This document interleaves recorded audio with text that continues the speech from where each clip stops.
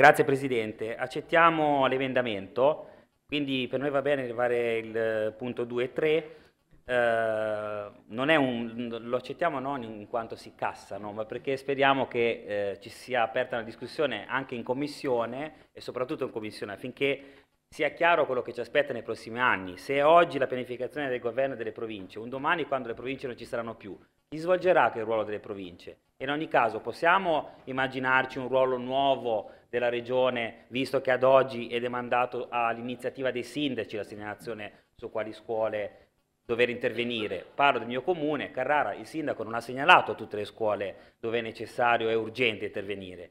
Quindi questa è una cosa grave, noi non è che dobbiamo diciamo, eh, schiacciare i piedi ad altri livelli istituzionali, ma in una fase così delicata sicuramente dobbiamo fare rete, chiamiamola così. Gra Quindi va bene, grazie. grazie.